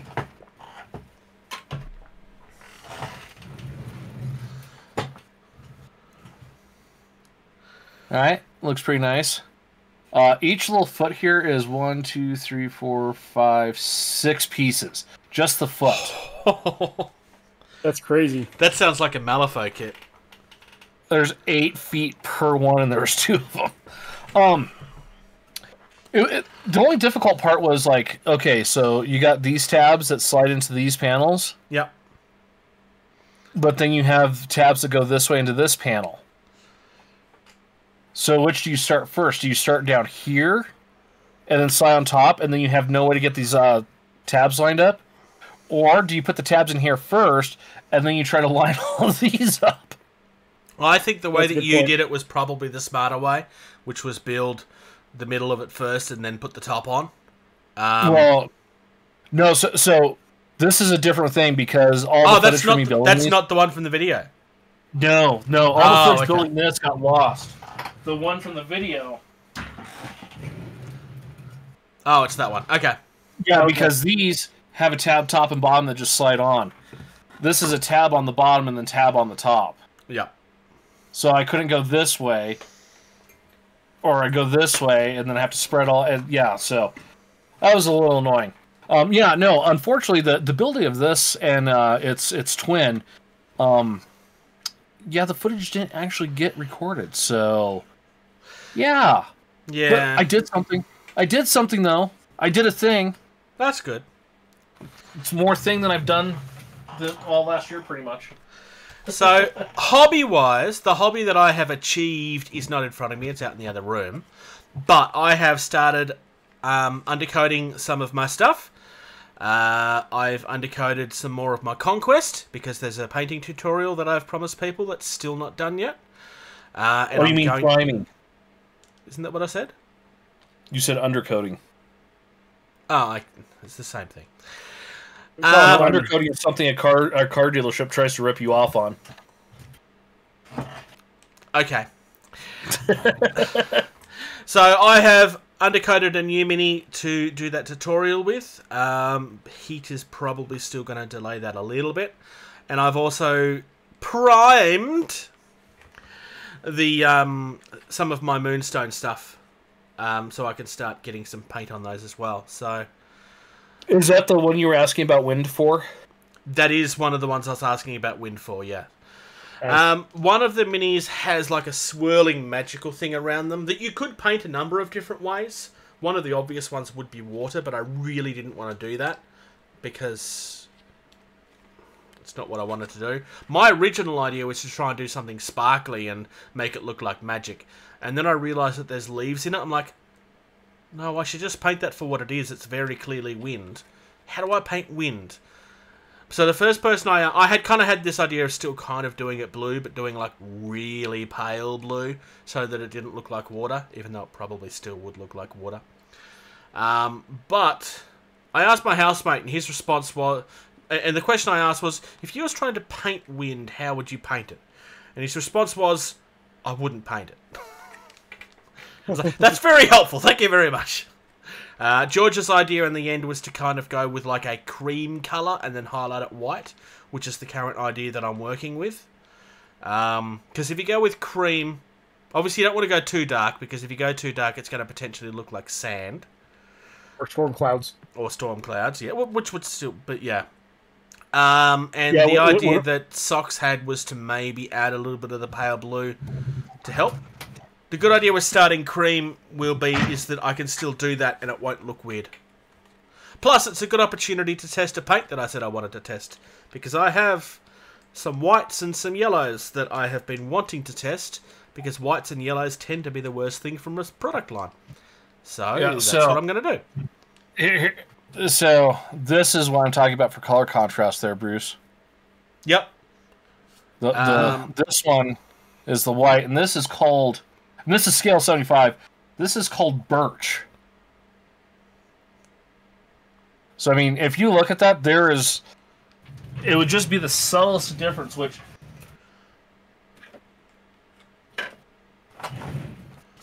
That's all you would want to try to do is just you want to be subtle. Yeah. I am going to be using some AK Interactive third edition paint for it. Uh, and I I do have it nearby, but it's underneath a whole heap of stuff. So I'm not going to grab it because of everything will fall over. But this is where I have to go to my camera thing and turn off. Is there anything in view? Nope, nothing is in view apart from my towels and stuff. Turn off my blurring. Hey, look, I didn't make my bed.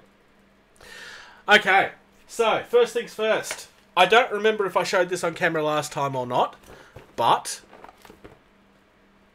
I have the full range of the air paints from um, Army Painter, which I intend to do an unboxing and an actual test for. Yeah, you got a ridiculous deal on that. Oh yeah, Yeah. it was like less than three dollars a pot. It was ridiculous. Shh. I also have Shadow something. It's the Shadow Battle Cruiser.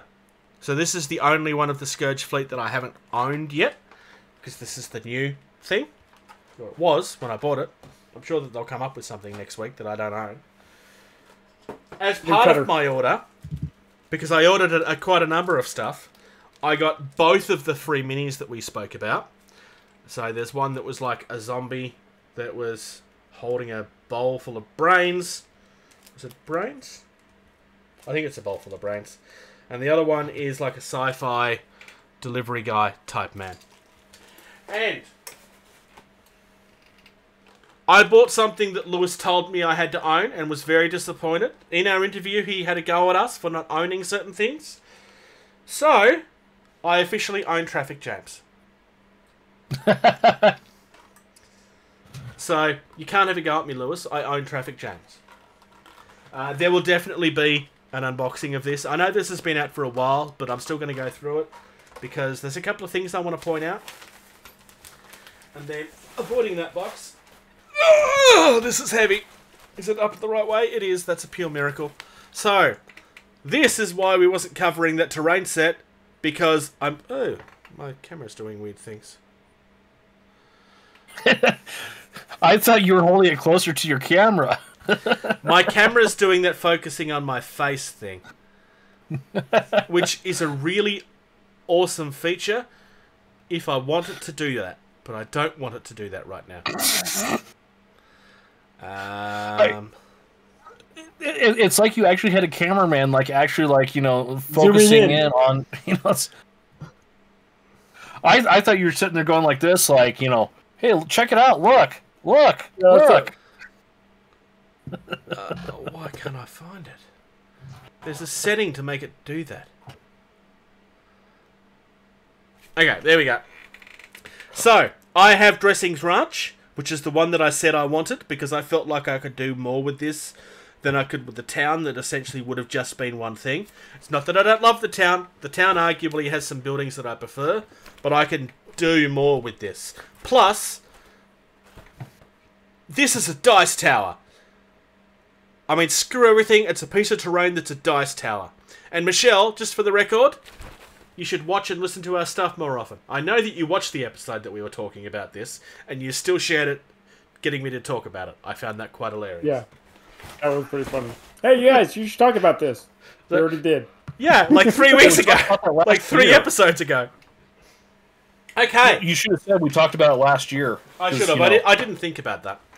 Now, George, how many of our conversations about the secret game do you remember? Malifaux? No, No. Moons, Moonstone. Moonstone. Oh, Moonstone. Yeah. Oh yeah, no, I was But thinking the secret game was Malifaux. You you had a guess of something that you thought it was, and I told you no at one point. Do you remember what it was? No. No, not at all. Rumble Slam? No, I already own Rumble Slam. It was Carnivale. Oh. Oh Ooh. god, that box looks nice. It this is their two player starter set. Stop reflecting. That artwork looks amazing. It does look nice. This is one of the best value sets in the industry right now, I believe. Uh, there is actually two different starter sets that you can buy, um, each that comes with different things. I bought the larger of the two because that's the one that I wanted to show off. To some extent, I've bought that for content. Uh, the other thing is, is that I want to start doing some live streaming later in the year, and so I'm kind of trying to get things that I can do on that. Uh, so I did that, and I bought the Dracula set for the nice. Strigoi, which is just all kinds of pretty.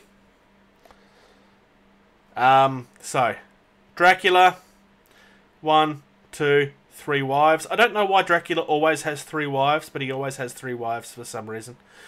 Uh, and I don't remember who this guy is. Uh, I will be going through an unboxing of this set. Uh, this set was raised in our Carnivale group recently because somebody noticed an error on the website where the website was saying that this is a fully legal team, but it's not.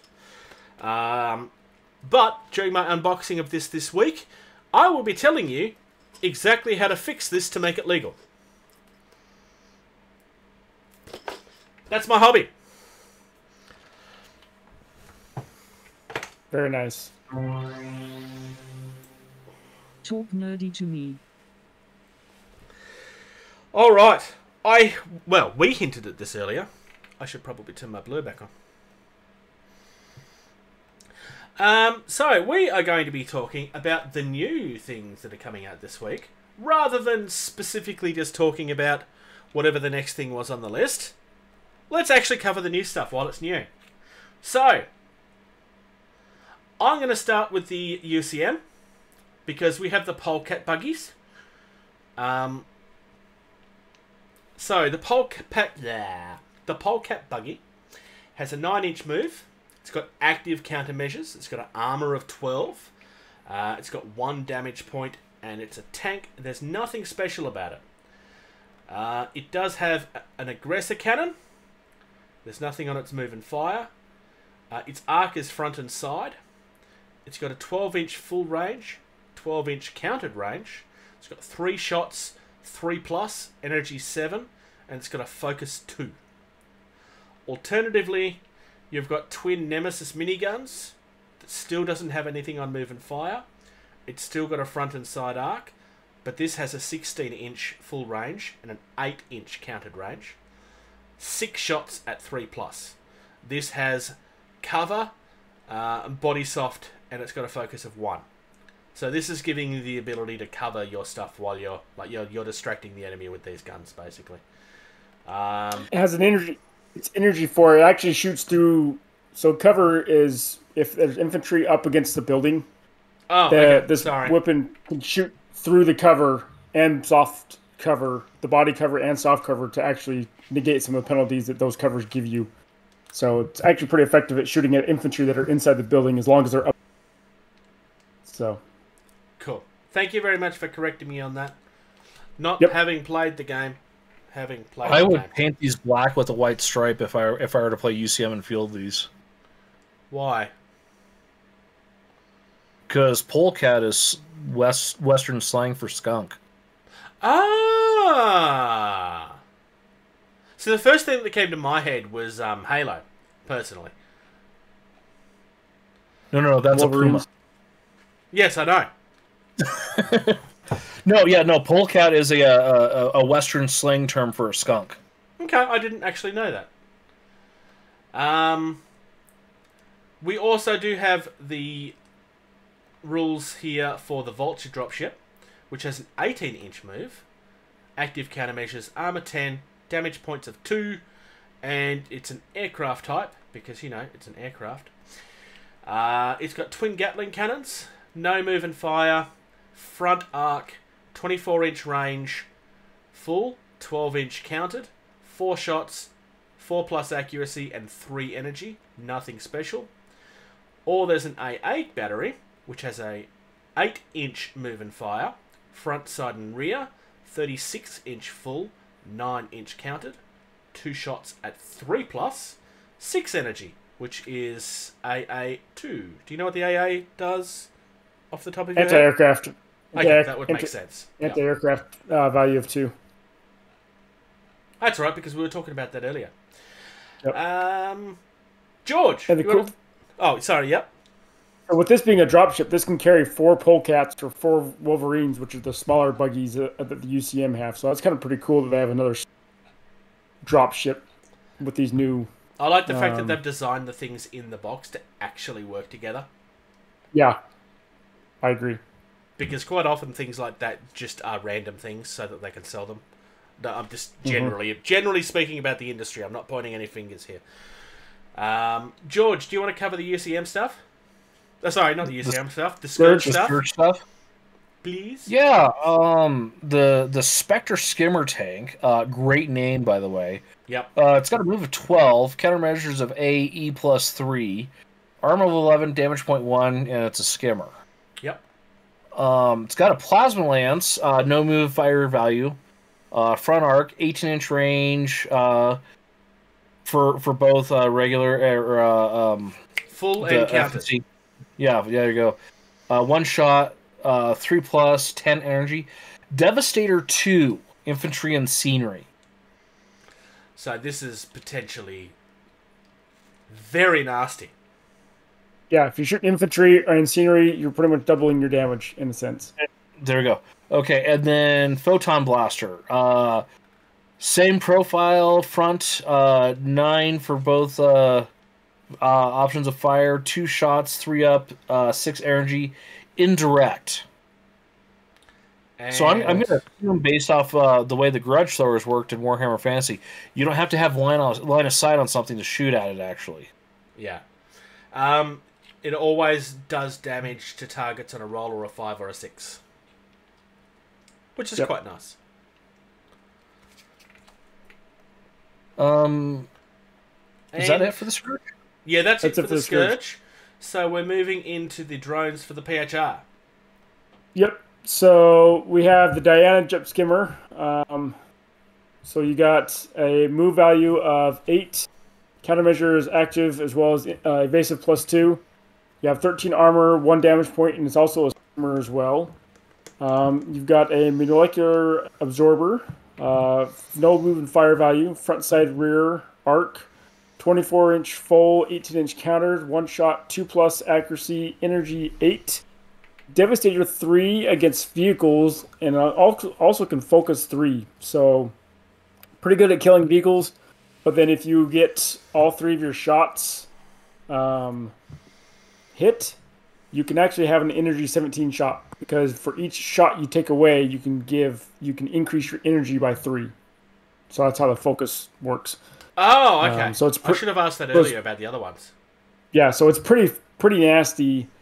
Um, by that, so it almost becomes the heaviest hitting weapon in the game if all three of your weapons and rolling a two plus. Other than Bruce rolling, you're gonna hit, pretty much hit all the time. Most of it. This would almost be good for me. Almost. Yeah, it would almost. Um, and then you also have a shield beamer. Um, the option to take a shield beamer, which I think is, is pretty cool. Um, so you have a front side rear arc on this, no move fires, uh, 18 inch range for full, 12 inch range uh, for countered, one shot, accuracy three plus, no energy and no special.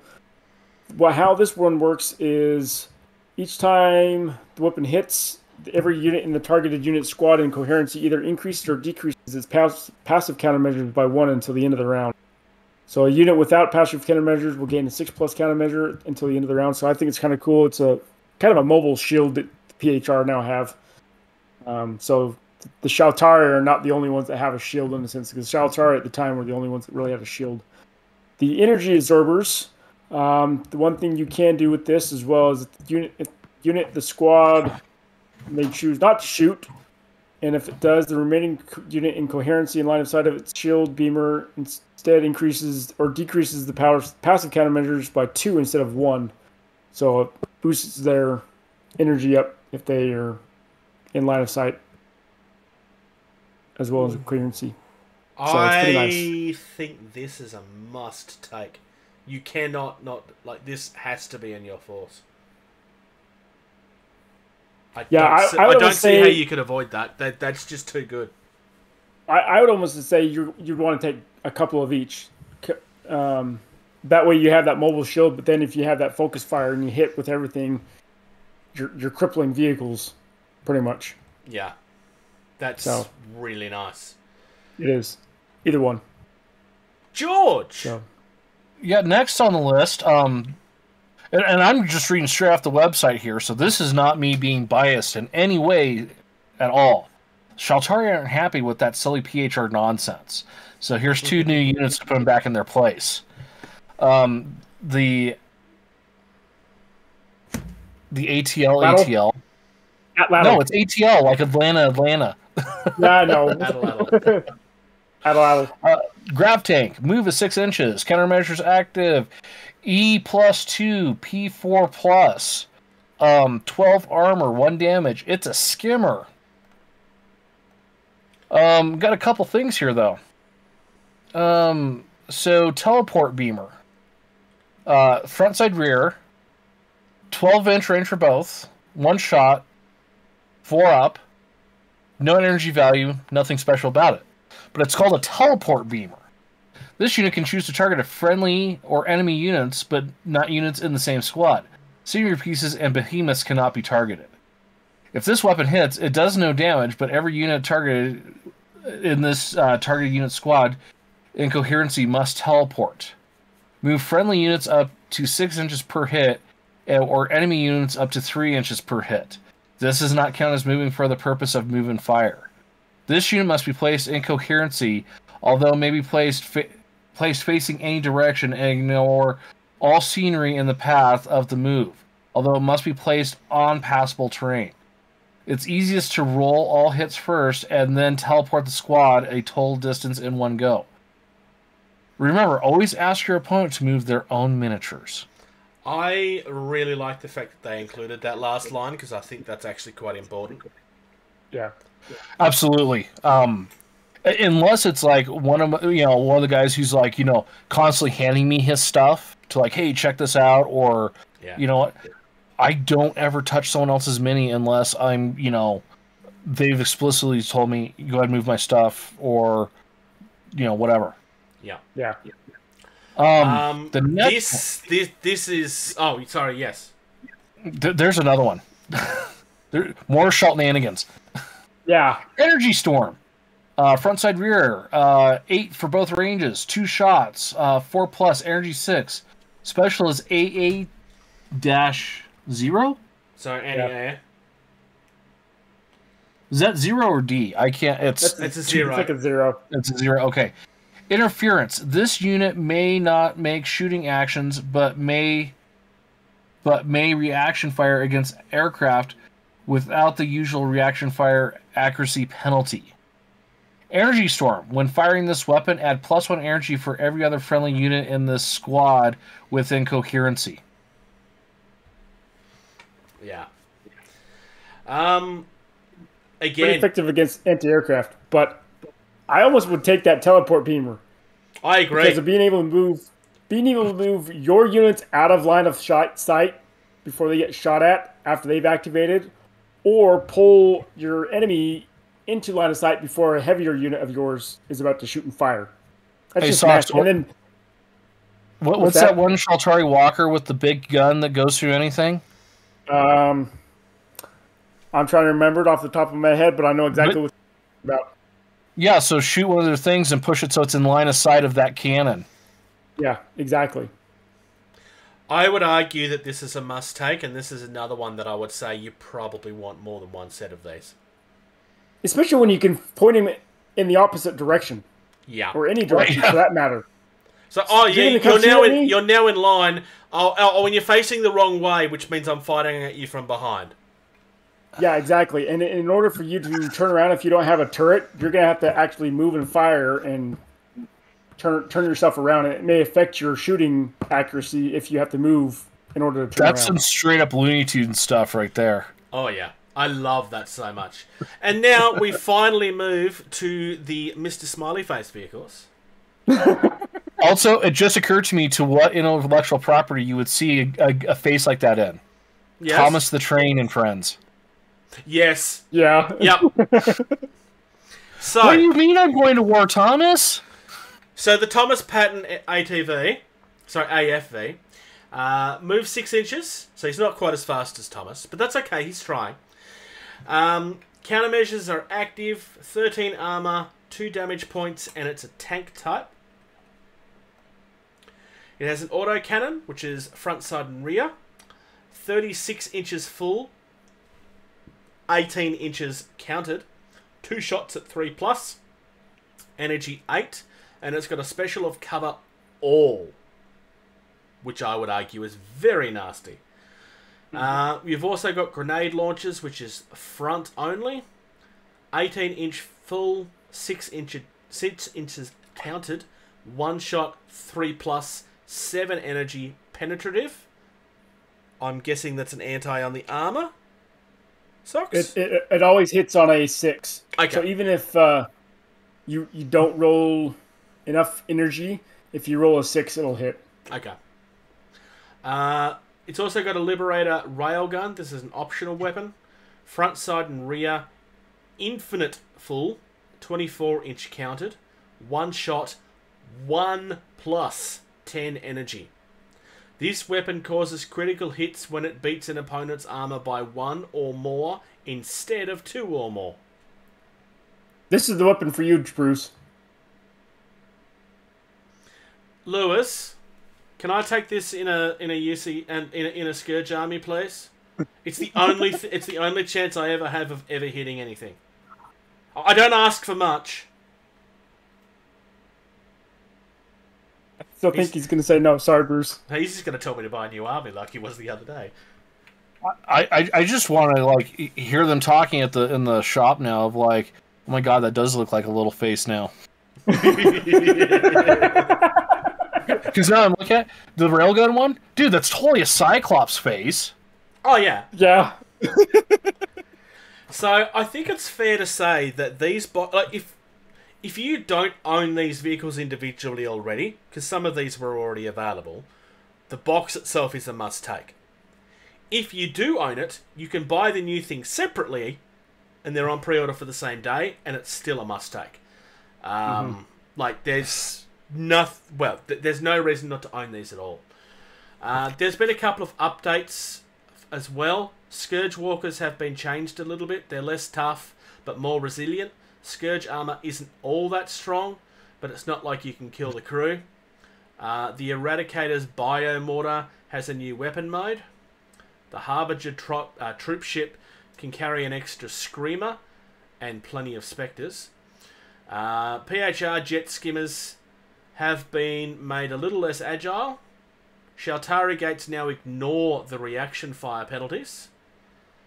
Uh, Firstborns have turned their energy swords down a bit. Uh, Pungari have some changes to reflect how useless they are on their own, but fantastic as a horde. Uh, You guys remember the Pungari? You guys remember the Pungari models? They're like the little short guys that the Shaltari have. They're like they're, they're pretty much the grunts. Yeah. Yeah, but no, I just You the, the wording of that is just Oh, the, amazing. the wording is Yeah. right, yeah. Uh, Ronin now have a really good reason to upgrade their weapons, so obviously their alternate weapon is better. Uh, resistance Jacksons are cheaper, but a little easier to hurt. So all of this seems like fairly decent uh, options. It's everyone but US UCM. pretty much. Yeah, UCM have avoided any nerfs, um, but they are offering feedback if you think there's something that still needs to be done. Uh, all of that should already be updated on the Drop Zone Commander website, so when you're building, it should already reflect that. Um, otherwise, upcoming Um, events. I, I think that well, I, I just want to.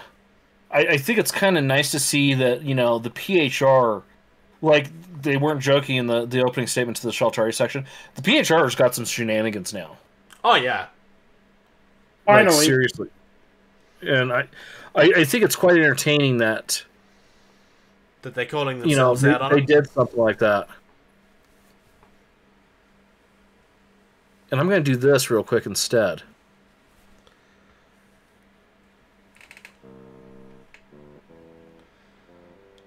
Oh, it's been a while since we've had this.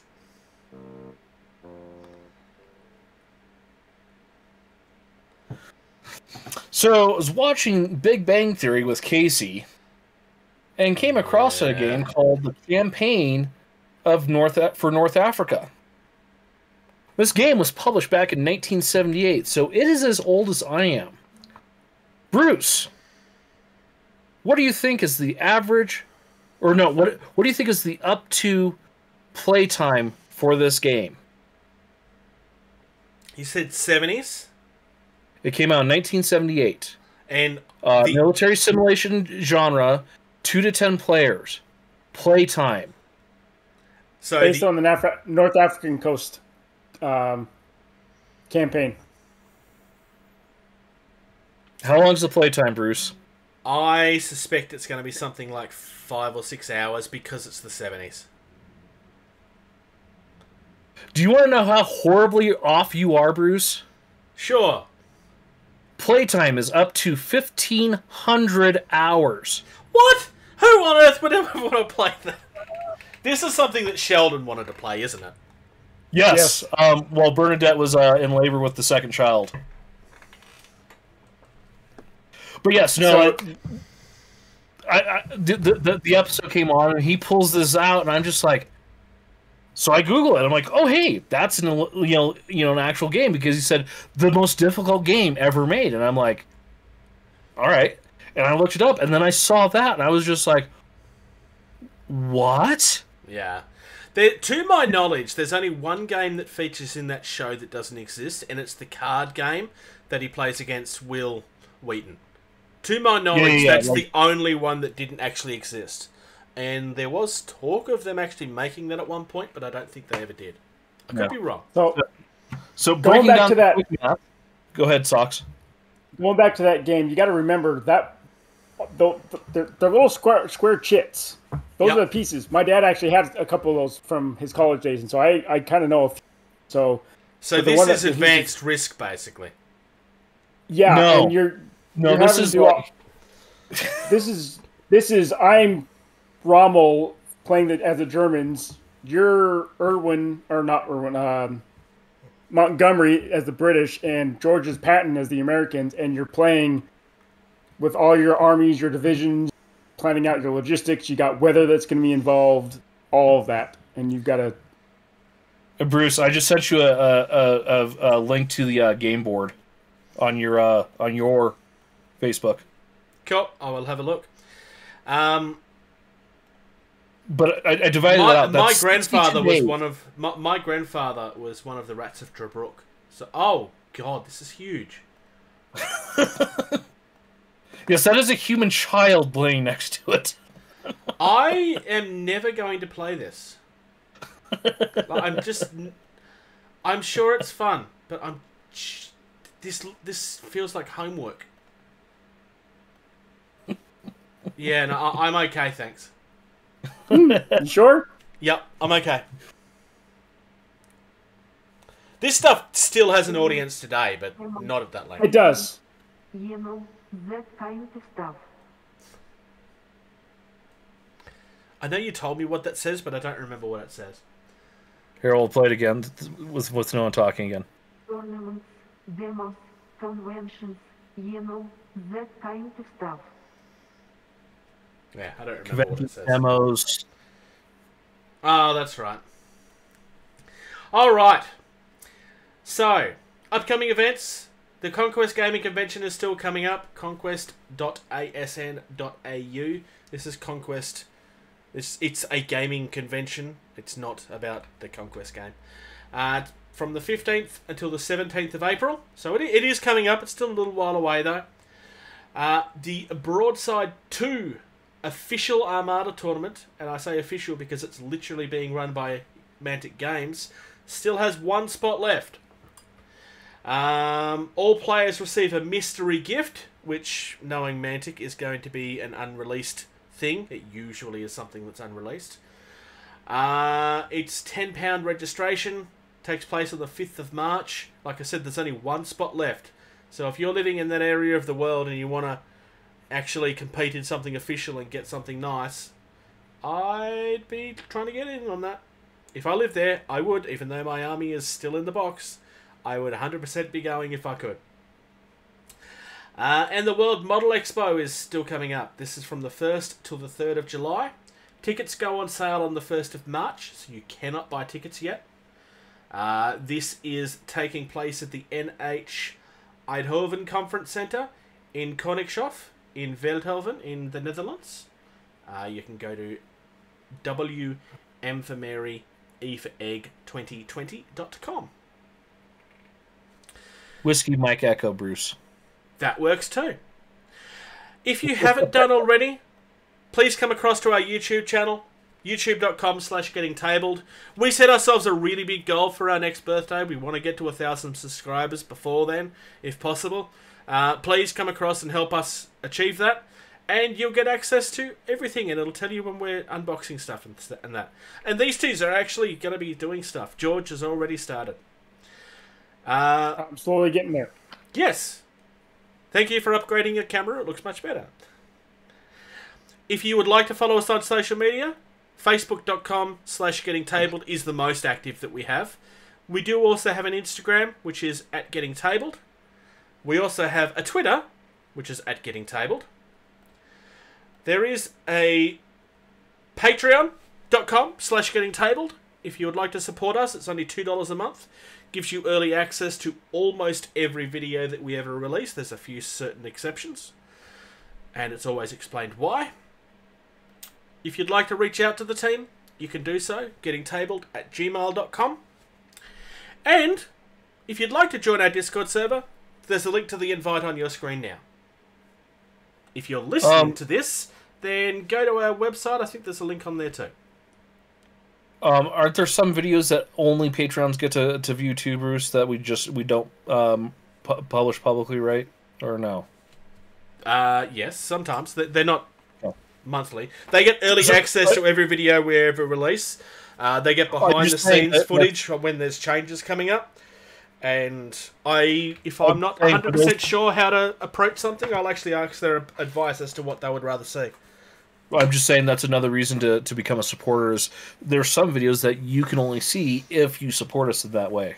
They also have the option of listening to us live as we record. They cannot interact well True. beyond text, but they can actually listen to us live as we're talking. They get to hear like the the the pauses of silence that sometimes occur Yeah. because that's so entertaining. Right, JP and Jay. No, they're not even here, slackers. I know they're not. I know they're not. We'll say hello to Chris as well then, because he's also not here. I Alright. assume that you're trying to do the thing. I'm gonna do this thing now. Thank you. Thank you. Thank you. Thank you. Thank you. Thank you for listening to Getting Tabled. Music used in this podcast was created by Eric Matyas at soundimage.org. Play more games.